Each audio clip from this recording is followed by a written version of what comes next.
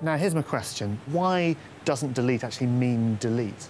If you think of this as your hard drive Yeah. and the pages are containing your files, when you delete a file and remove it from your recycle bin, what you're doing there is you are just removing the entry from the, the table of contents. The, the link that you normally would have to the data is lost, but the data is still there. So that's the key. Saving a file leaves a physical trace on the disk, which isn't affected by pressing delete. So here you've got a spinning platter, just Yeah. like a record, and then you've got the armature here, which would be the arm of the record player. And then right at the end, very, very small, is the read-write head.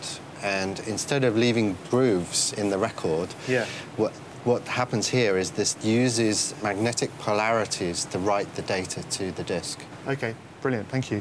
So, for example, let's say I really, really want to get rid of the data. Perhaps I, I want to throw away uh, a hard drive or a computer, and I, I absolutely don't want it to get into the wrong hands.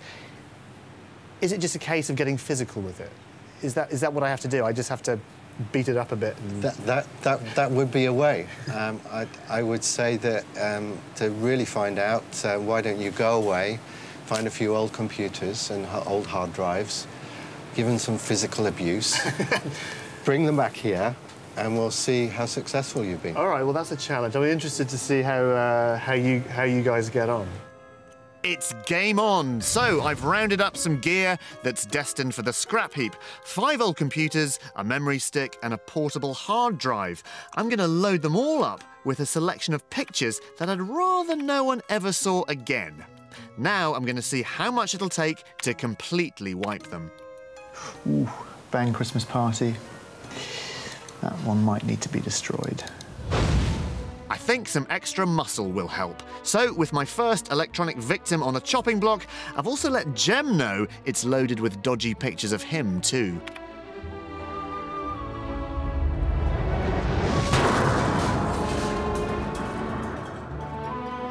Yeah, that's the sort of thing. Yeah, I usually find that does the trick with electronics. That's the hard drive there. Well, let's label this up so we know exactly what we're doing. Right, we have hit that with a sledgehammer. Ten pound sledge. Right, next.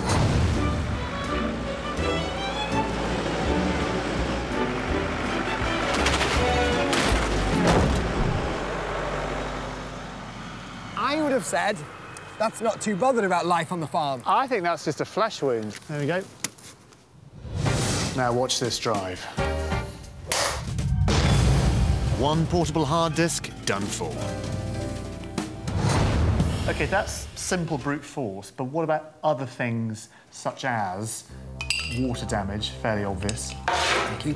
That's the memory stick drowned. Now, how about a powerful magnet? Or even a quick blast of heat? Your classic hard drive breakfast.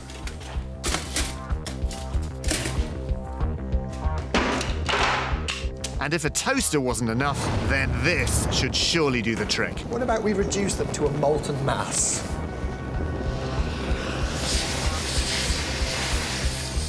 That's seven hard drives done.